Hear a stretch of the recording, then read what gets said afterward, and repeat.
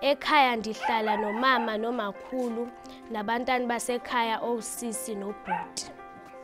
Kumnandi kakhulu ukuhlala naba, nabo, nabazali bam kuba bayandicebisa ukuba ezinye izinto zimbi ezinye zintle. Phambi kwembalela besiphila kamnandi kuba besiya siye kugqubha emlanjeni sikhe amanzi siwalethe endlini kube mnandi silime sinkcenkceshele izitshalo zethu. Emva kokuba imvula iphelile aye amanzi ehla angasahambi ama. Siye sagqubha engcolile enjalo sawasela.